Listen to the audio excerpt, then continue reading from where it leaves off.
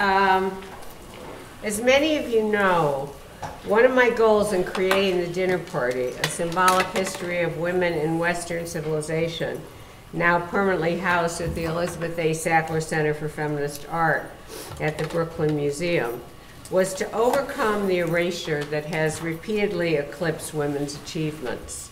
A contemporary illustration of this erasure is the story recently told by the writer Sue Monk Kidd of visiting the dinner party and discovering the Grimke sisters of South Carolina, which is where Kidd is from.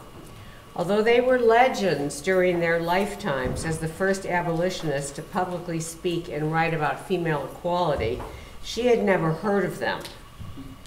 As she writes in the author's note at the end of The Invention of Wings, her best selling novel about the Grimkes, how could I not have heard of them? My ignorance felt like both a personal failing and a confirmation of Chicago's view that women's achievements had been repeatedly erased throughout history. The reason I cite this issue of erasure is that it helps to explain why in 1999, after a 25 year absence, I returned to teaching. By then, I had been receiving letters from female students at numerous universities and art institutions all over the world. They reported that they were learning almost nothing about women's history or women's art. In fact, many of their art professors, both male and female, were hostile to female centered work or unable to adequately critique it. As a result, they felt unsupported or entirely stranded in terms of their artistic growth. Moreover, most of them were unaware of the feminist art movement of the 1970s, which is now noted for having dramatically affected art practice. Between 1999 and 2005, I took a series of semester long appointments at a variety of universities around the country, first by myself and then in tandem with my husband, photographer Donald Woodman, who's standing right there. Actually, um, the first year, the first two years, let's see, the first year when I taught at IU Bloomington, I took, we have a bevy of cats, and I took the cats, I had the cats. And then the second year, when I was at Duke, Donald kept the cats. So that was not exactly great for us. So then we decided we better team teach so we could both have the cats. Anyways, I said at IU Bloomington, Duke, and the University of North Carolina, Chapel Hill, I was alone.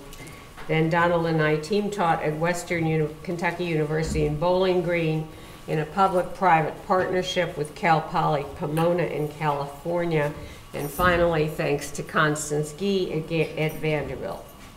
In addition to hoping that I might be able to offer something valuable to students, my decades-long experiences as a practicing artist, and the pedagogical methods that I had begun developing in the 1970s, I thought that my pedagogy might also prove empowering and again, and perhaps not only to women. I was also interested in discovering what had happened to university studio art education during my long absence and to record what I learned in institutional time, a book that took me 10 years to write. Could I have the next, Donald? In the first chapter of the book, I review my early feminist art programs in Fresno and then at Cal Arts, where working with our students, the artist Miriam Schapiro and I created Woman House. As the, these programs have been widely dis discussed, I don't want to spend a lot of time on them, except to say that when I brought my Fresno program to Cal Arts, along with a number of my students, including Nancy Youdelman, who's been here on campus, I did not understand how markedly different it was from the emphasis of the rest of the art department. In fact, this period at CalArts marked the beginning of a significant change in university studio art education, as can be surmised from a quote from Paul Brach's 2007 obituary in the LA Times. Paul, who was Mimi's husband, was the dean of the art school at CalArts, and he was the one who brought the feminist art program into the school, providing us with our own studio space a materials budget, and the first position for a feminist art historian, not to mention the first time that any university uh, uh, art program provided a, an educational opportunity specifically for women. Even though Paul supported the program, apparently his own views were that, quote, art school is less about teaching how to make art than about learning what it means to be an artist. Well, you could have fooled me. My idea of studio art education was to help students find their own voice by discovering their personal content, then expressing that through appropriate media, which was the emphasis of the feminist art program. The important distinction here is that I stress the importance of content along with developing the skills to express it clearly and effectively. But I left academia soon thereafter in order to concentrate on studio work, so I really didn't understand the significance of the shift introduced by Paul until I returned to teaching. One of my first encounters with the consequences of this change was reading Howard Singerman's book, Art Subjects, which include, by the way, there's very little uh, literature on university studio art education, shockingly little. Art Subjects was one of the few books there is. It includes the quote with which I actually introduce my book. Although I hold a Master of Fine Arts degree in sculpture, I do not have the traditional skills of the sculptor. I cannot carve or cast or weld or model in clay. Why not? Could I have the next? I will now briefly discuss my various teaching skill stints and then share, oh, actually I need the next one down. This is Woman House. Yeah, thanks. And then share some of my conclusions that parallel something that Stephen Henry Madoff pointed out in a recent book, one of the few on, on studio art education. It's called Art School, Propositions for the 21st Century. And in that book he wrote, quote, current and new students are paying fortunes for inadequate art educations and getting into bank loan debt, which is a huge disservice to them, a subject to which I will return. When I went back to teaching, I was particularly interested in addressing the gap between art school and art practice. Many art students find this transition difficult, but it seems to be especially challenging for women since many of them have little or no idea how to generate the money, space, or time necessary to set up a life as a professional artist. Consequently, at most of the universities where I and then Donald and I taught, I instituted a project class that would allow students to experience the different stages of professional art practice, from identifying personal subject matter and formulating images to mounting an exhibition. My hope was that by traversing the gamut of difficulties between creation and exhibition, the participants might become better prepared for the rigors of professional life. At IU Bloomington, I had hoped that some men would sign up for the class, as I was eager to discover if my pedagogy would be useful to them, a subject to which I will also return. But that didn't happen until I taught a graduate seminar at uh, University of North Carolina, Chapel Hill. The images you see are just a few from the wildly successful exhibition that was the result of the IU project class, which was held at the I.M. Pei Design University Art Museum. The title was based, Sensation, was based on the Brooklyn Museum Sensation Show, which was up at that same time. The participants' work was wide-ranging and included this hilarious parody by Peg Brand of a de Kooning woman painting in which people could insert their heads and be photographed, thereby replacing his vicious objectified form with a laughing, grinning image of female agency. By the way, Peg, who like Constance was married to the Constance, when I met her, was married to the uh, chancellor of Vanderbilt. Peg was married to the head of the IU school system. And Peg, like Constance, had started out as an, in the art department. Also, like Constance, she had ended up feeling, in her case, she ended up in philosophy of art. Constance ended up in art education. In both cases, they felt completely unsupported in their graduate programs as artists.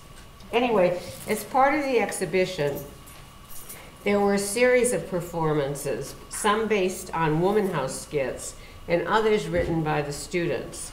The more recent pieces were extremely illuminating in terms of the issues being faced by young women there. When I was at IU in the 1990s, post feminism was all the rage, especially in the art world, which was loudly proclaiming that feminist art was passe, assuming a world where the gains of feminism were unequivocal and its goals roundly met. But my students' performances told a very different story. One that expressed their confusion about the fact that they were being encouraged to believe that they could do and be what they wished.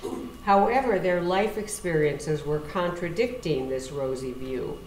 I myself always thought that this idea of post feminism was ridiculous, especially given the conditions of many women in the world.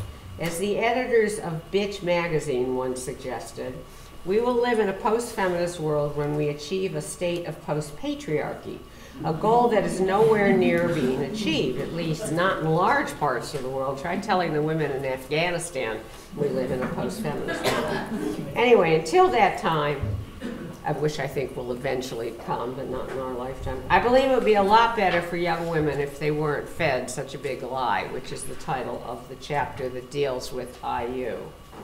Could I have the next? Some of the consequences of this fiction about how everything's changed now were brought home to me at, of all places, Duke, which is a stellar university, at least for the male students. When I was there, the school was led by Nan Keohane, an avowed feminist. Late in her tenure, she undertook an initiative aimed at examining the situation of women on campus. Of course, if she'd asked me, I could have given her an earful. As I describe in Chapter 4 in Institutional Time, my Duke class was structured to lead students through three of the subjects that I had explored women's history, birth, and the Holocaust. At that time, Duke's art department was small and could not provide a studio space. Moreover, most of my students were not majoring in art, so I assumed that they would mostly do text based projects. As it turned out, most of them wanted to create visual works, which meant that I had to stand on a desk in the classroom in order to look at their pieces. that was not a lot of that was really a great way to do crits. Anyway, early on, I encountered the fact that the female students, my female students, and they were in the majority, were so preoccupied with what was happening to them on campus that they seemed unable to concentrate on the subject matter of the course. During our group discussions, they complained about being viewed as objects by the male students, being judged by their looks rather than their intellectual abilities, and being dismissed when they tried to express their ideas in class. Some of the students mentioned that when they first arrived at the school, their pictures were placed in little black books that were circulated among the male students who competed for the triumph of being the first one to get them. Consequently, they dampen themselves down, as one student put it. Having these discussions with my Duke students, which I could not believe, caused me to experience an intense sense of deja vu.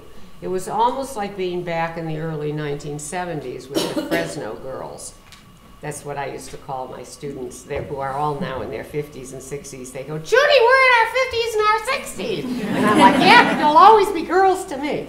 Anyway, the stories I was hearing from the Duke girls were all too familiar.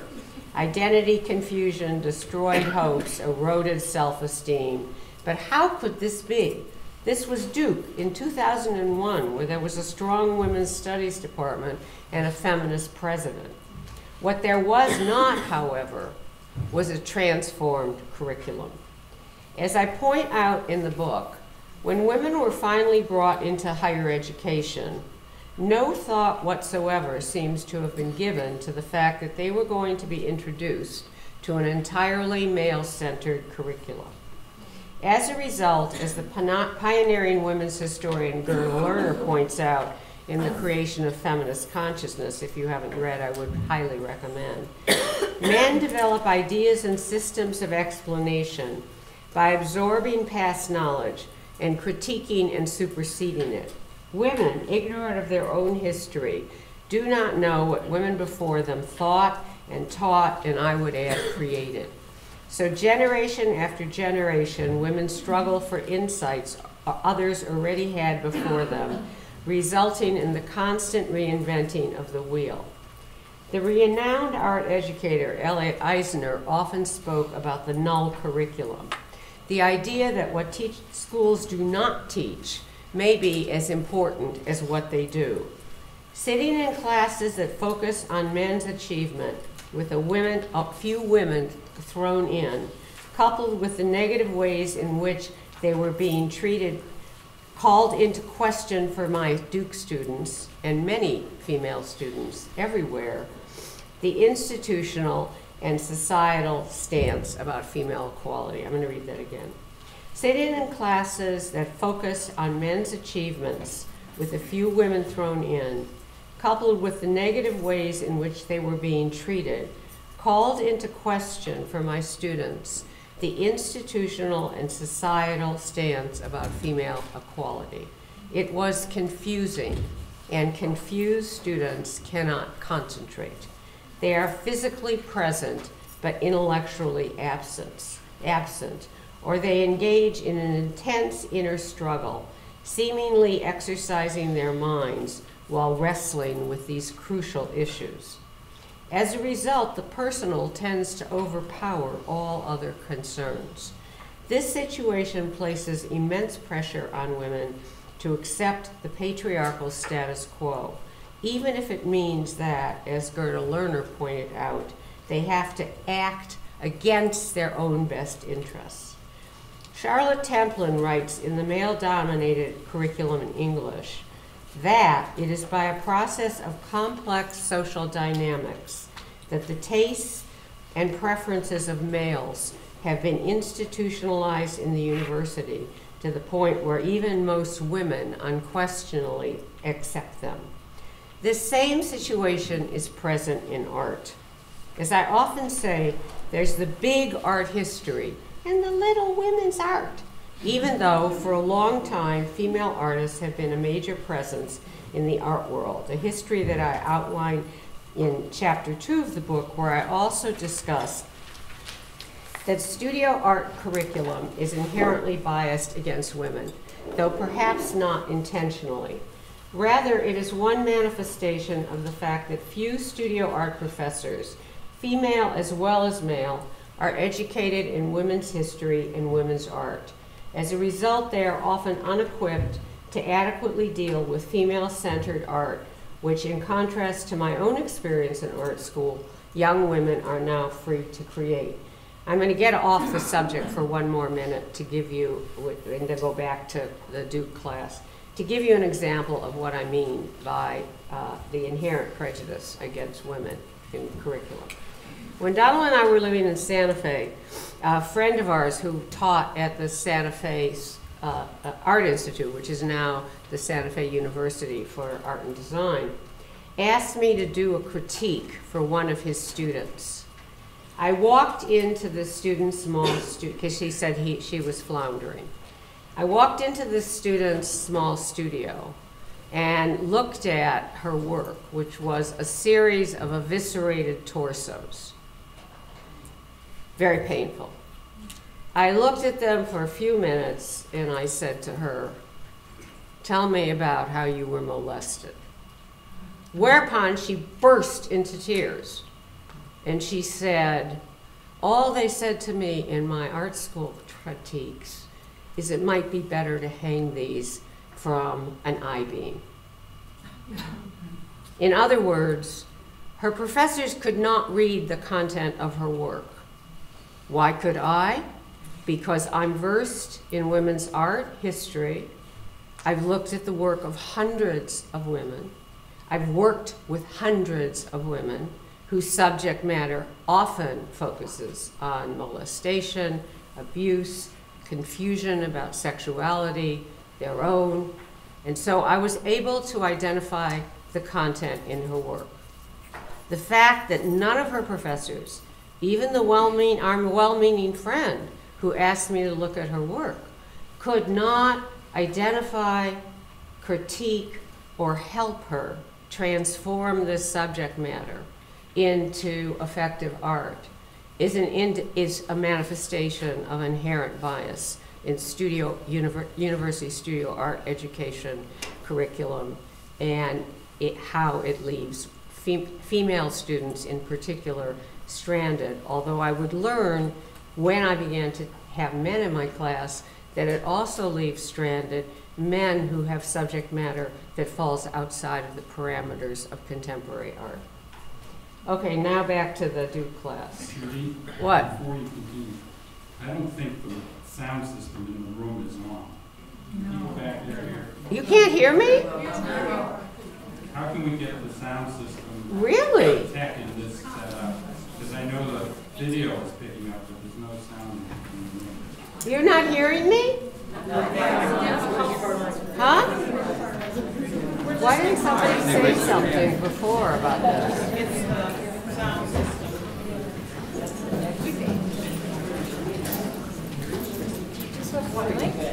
I don't know what I have. I just have, I don't know. I mean, I'm not a technical. Yeah, okay. You have to understand how completely Just keep talking. how completely both surprising and in some ways heartwarming this is because for so many decades people told me to shut up. Do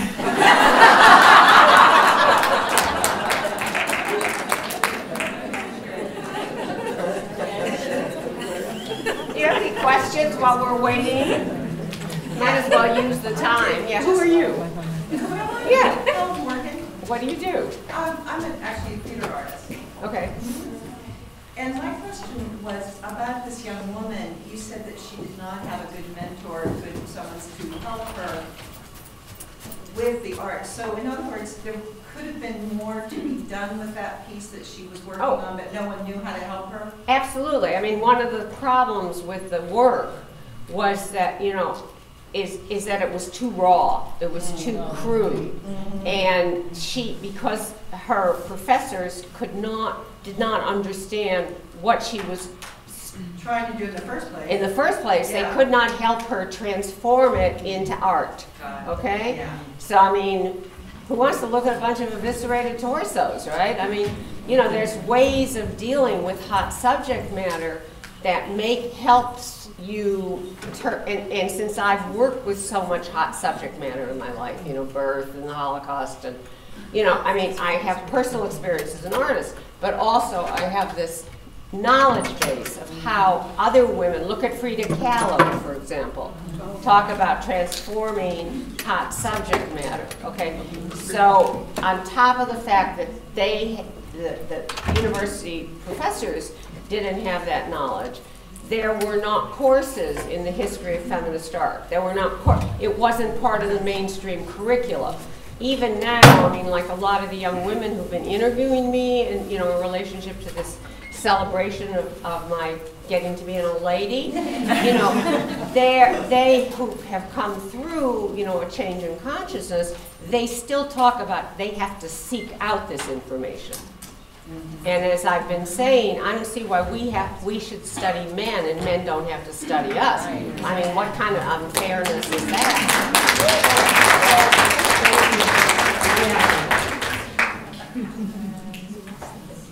Oh, now I'm gonna have two of these things. Okay, can you hear me now? Yes. Thank you. Okay, so where was it? Okay.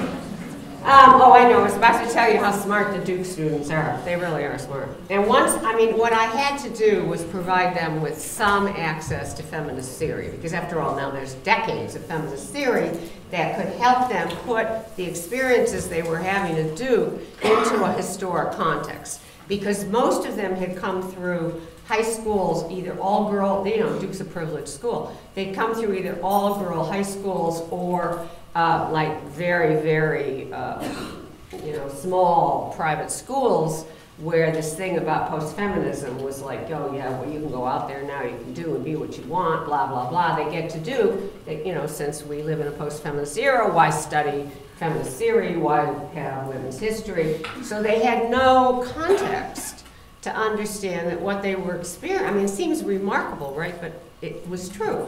They had no context to be able to understand that what they were experiencing, of course, had to do with their gender and the fact that Duke was still a highly male-centered school. In fact, when that whole scandal erupted around the lacrosse team, I mean, it was not really that big a surprise having been at Duke. Okay. Um, okay, now I have to come back to where, okay. Uh, before I continue, the, the Duke show also had a huge impact. They did a show at the end of the semester. The administration was so impressed by the fact that it was so interdisciplinary and it, it, the students had produced, I mean, these were undergraduate students.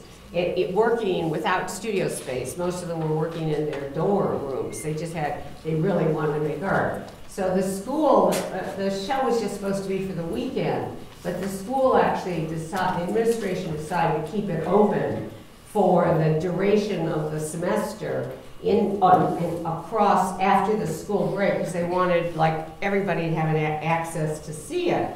And before I go on, I just want to venture an explanation about why the student shows like at IU, Duke, and the rest of the places we've taught had so much impact. To again quote Stephen Henry Madoff, the contemporary art for art's sake stance has generated a fear of narrative content that is not serving us well in the 21st century. Modernism defined universalism partly through form, devoid of social content. But this has become a repetitive formula, an armor without a body, ultimately decorative. Earlier, I mentioned the discrepancy between my early feminist art programs and the direction in which art school education was heading, a direction that definitely privileges form over content and learning how to act like an artist rather than learning how to make art. Hence, the lack of skill training outlined by Howard Singerman. The quote I gave about how he has an MFA in sculpture, but he can't make sculpture. He can only talk about being an artist. And he came from one of the better schools in Cal- Southern California. He never would quite say whether it was Cal Arts or UCLA, but obviously from what he said, wha- how he described it, it was one of the best art schools in the country. Okay, could I have the next? At the same time as my class at Duke, I also did a graduate seminar at the University of North Carolina in Chapel Hill. Half of the students were males, which provided the first real opportunity to discover whether my pedagogical methods could be applied to more than the occasional fellow. There were a couple guys in the, in the Duke classes. I was also curious to see what impact their presence would have on class dynamics. Over the last 30 years, the subject of men in a feminist environment has been vigorously debated. That's an understatement. The consensus is that when men are present, they tend to dominate the class. Despite the fact that my circle-based pedagogy counters this tendency, there was a time when I was convinced that if men were present, women could not be themselves. When I want, returned to teaching, I wanted to test this premise. And in chapter five, I discussed what happened in the UNC class, which I don't have time to go into now. Suffice it to say that a number of my male students benefited from my approach, especially in the next teaching project I did at Western Kentucky University, which I did with Donald. Uh, it was called At Home, and it revisited the subject of the home 30 years after Woman House, this time with both male and female students. And I think you all know that there's an exhibition in the Special Collections Library of all of the teaching projects, along with a, a, a whole video installation of, of the various projects and te- my teaching, our teaching. Um, again, the issue of erasure, along with Gerda Lerner's point about repetition, became extremely relevant in the At Home project because the women, unschooled in the history of the feminist art movement, reiterated many of the same concerns already expressed in Woman House. In contrast, it was some of the male work that was startling, notably the subjects of male rape by a woman and murderous sibling rivalry. So, some of the subjects that men took up were I had never actually seen direct expressed in art. To further emphasize some of the deleterious effects of the null curriculum, in this case for men, I want to mention that while writing Institutional Time, I read a book called Against the Tide by Michael Kimmel and Thomas Mosmiller, which is a fascinating history of men who supported women's struggles for equality. The authors mention how surprised they were to discover over a thousand documents indicating men's active participation in the suffrage movement. Like, I didn't know there were 30 or, 40, 30 or 40 men in Seneca Falls. I never read that. The reason for the exclusion of this information from our standard histories is certainly worth pondering. Perhaps it does not serve the cause of male dominance to publicize the many eminent men who have challenged its continuation. An unfortunate consequence of this silence is that men who find themselves uncomfortable with the lack of gender equity in the world are also deprived of role models. Could I have the next? In chapter six, I deal with both the At Home project and envisioning the future, a public-private partnership that was supported by Cal Poly Pomona and the Pomona Arts Colony, which you probably don't know what that is. It's a collection of galleries, nonprofit arts organization, artists, and institutions in and around downtown Pomona, which is about 40 miles east of LA, and it's called the Inland Empire. The Pomona project involved almost 80 participants, but this time, instead of working directly with them, Donald and I attempted to train facilitators, each of whom led a group composed of both students and practicing artists, an approach that I used dating back to Womanhouse.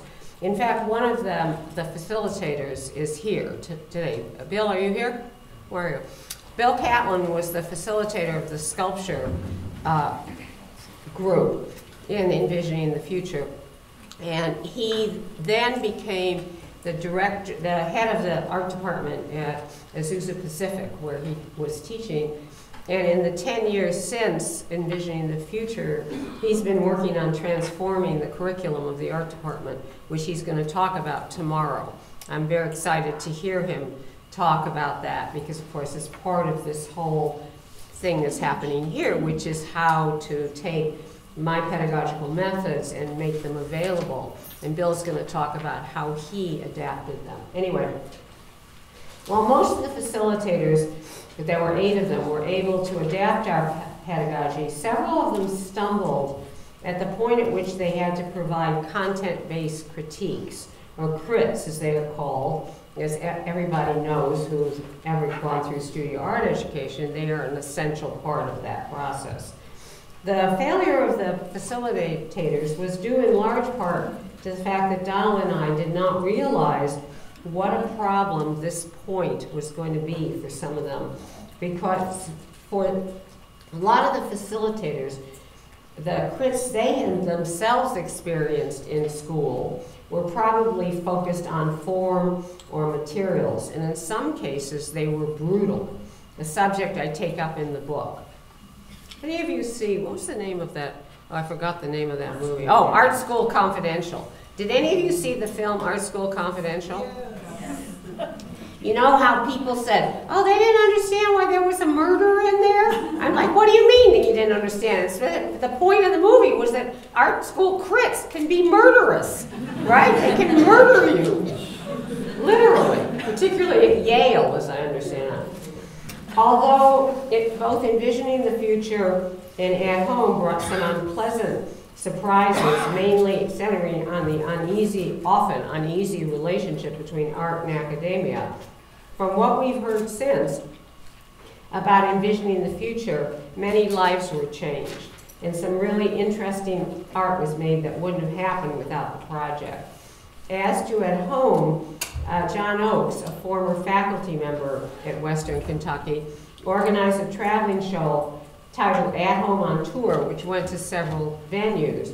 And the project lives on in some of the scholarship it has engendered, and the fact that now, like all my teaching projects, it's archived in the Special Collections Library here at Penn State. And the model that John did, the 1/12th model at- that John created of the At Home project, is in the Special Collections exhibition. Could I have the next? Our last teaching project was at Vanderbilt, as I said, where the Chancellor Gordon Gee was then married to Constance. Constance and I were interested, particularly interested, in trying to integrate studio art, art history, and art education more closely. In most university art department, these are compartmentalized, as you know. In fact, when Donald and I first went to, just before we went to uh, Vanderbilt, there, the art and art history department were fighting so intensely that Gordon was thinking about putting the department into receivership, which is when the administration takes control of a department and like, because they, they're so dysfunctional, uh, they did have a divorce. I mean, they actually did have a, a divorce, and, which was how we got this incredible building, the Cohen Building, which had, before, they had lived there together, the Art and Art History Department, but they left to their own quarters, and so we got this incredible 13,000 square foot building where uh, the participants worked, and then we transformed into a huge um, exhibition. Although um, I would say our, I don't know what Constance would say, but I would say that our success at trying to reintegrate studio art, art history, and art education might be, was maybe dubious. The exhibition itself was a huge success. In fact, today I was when in the Special Collections Library in the TV that has all the teaching projects, I'm standing there, Constance, looking at you perform your piece with the mask. Crowds of excited viewers at the opening kept saying they were, quote, blown away. And many of the student evaluations, which we shared with Gordon, stated that they had learned more in the four months with us than they had during the rest of their college life, which I actually attribute to the power of art, the potential power of art. In addition to describing the Vanderbilt project in chapter seven, which is titled Beyond the Diploma, I return to the subject of the often bumpy transition between art school and professional art practice. Oh, I'm sorry. This is me working with a student on her project. I just want to finish up the Vanderbilt project. She was a very, she was a very talented painter. She's actually a um, mathematics student, graduate student, but she had a burning desire to make art. She had very little training in art. And when, what, usually when you do paintings, you start with the background, and then you lay in the large areas of the figure, and then you do the details. But since she'd never gone to art school, she started with the heads, meticulously painted, floating in the space in the canvas. And then she, of course, got herself into a great deal of difficulty trying to pull it all together. Um, how many people here are artists? Okay. Um, at this moment in time, and I'm going to go back to this thing about the transition between art school and professional art practice. At this moment in time, the sheer number of graduate students is formidable. According to gradschools.com, there are 918 graduate programs in art and fine arts in the United States alone. Between 1990 and 1995, there were over 10,000 MFA degrees awarded, a number that is in no danger of diminishing. Moreover, at any given moment, There are 40,000 young artists walking the streets of New York looking for galleries. And there is the same number walking the streets in London. Most graduates emerge into an art world that provides very few ways for them to earn a living. This forces many to work at full-time jobs, which leaves little time or energy for making art.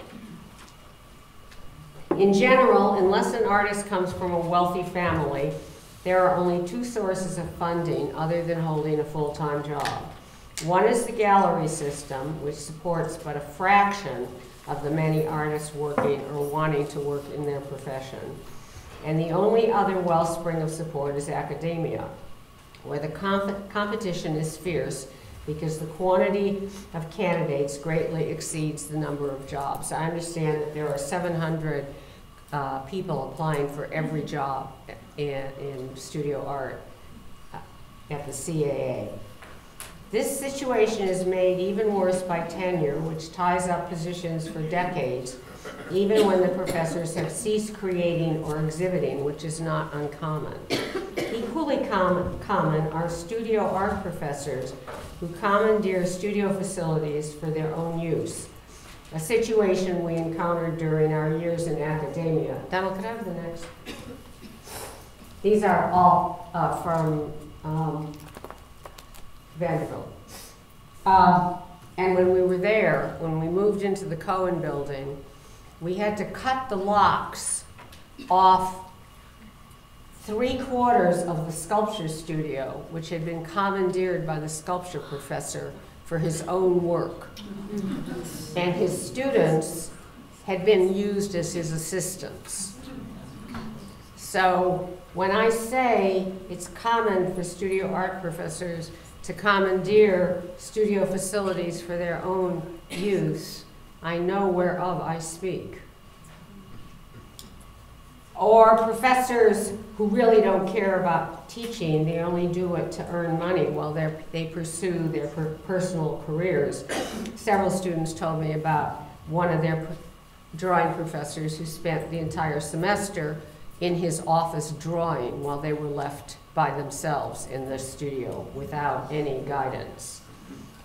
Curiously, university level teaching is the only area of education where no training is required. Even kindergarten teachers have to be certified.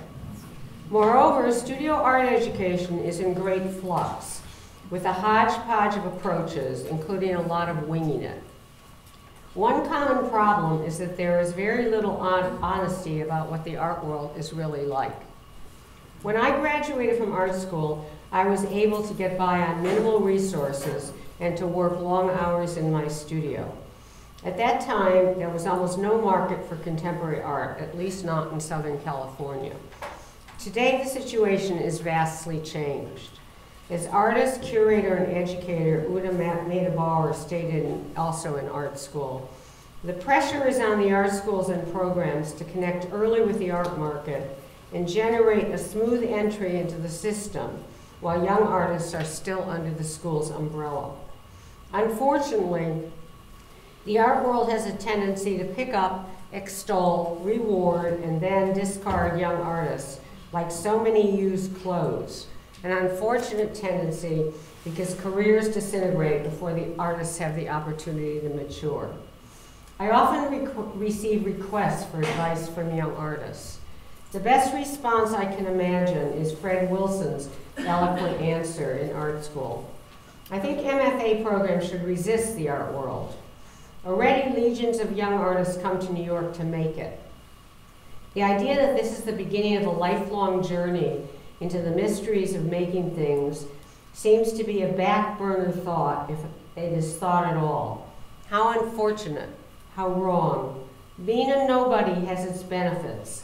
You can decide what you think about things, realize what is important to you, develop your own way of see seeing things, and then your own way of creating things. His words echo my own beliefs, expressed in my studio and in my teaching that art is a process of discovery.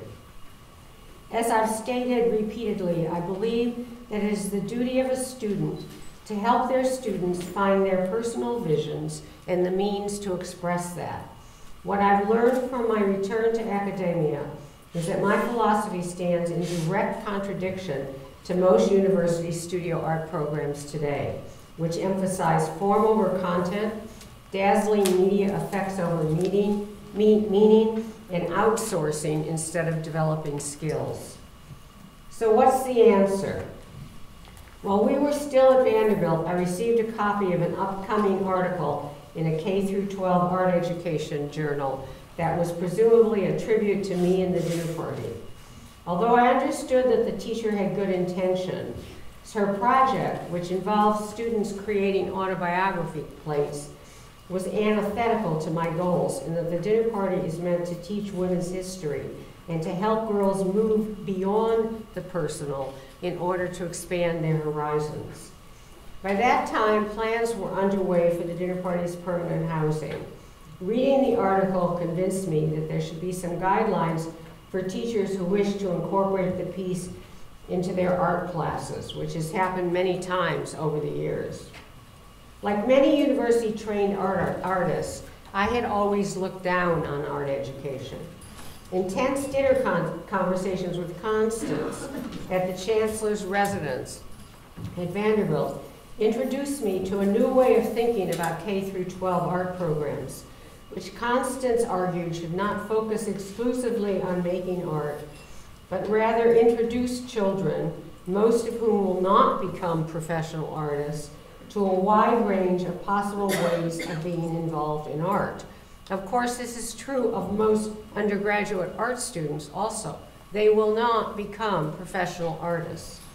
With Constance as my guide, I ventured into what was completely unknown territory, which was K through 12 eh, art education and curriculum development.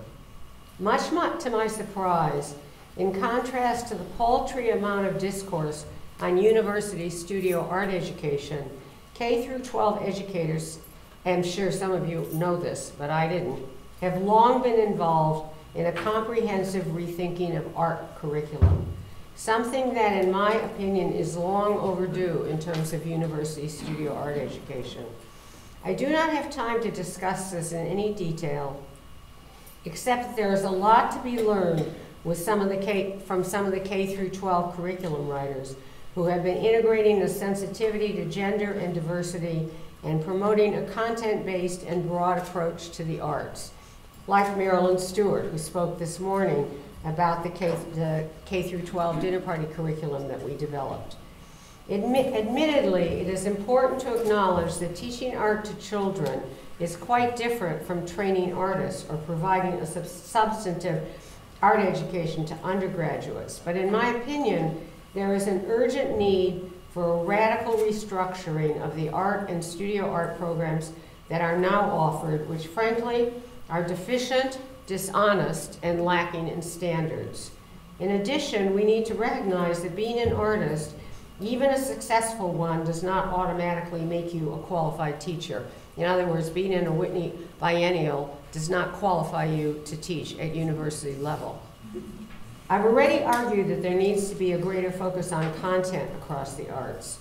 In addition to helping students find their own subject matter, critique should include discussions about content as part of a more holistic approach to art. In the book, I talk about my visit to Moore College for Art, which is the only art college in America for women, and the completely the complete lack of guidance and help those young women were getting in finding their own voices.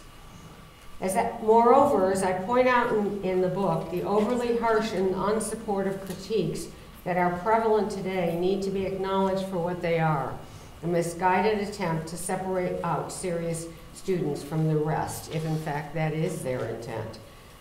Given the evolving nature of contemporary art, any curriculum has to be flexible and adaptable Certainly, it cannot be the product of one person's thinking, which is why I'm advocating a serious national or international dialogue between studio art and art history professors, art educators, and art professionals of all kinds. The 1970s ushered in a dramatic change in consciousness regarding gender and diversity. But that change has not yet been sufficiently translated into significant institutional change.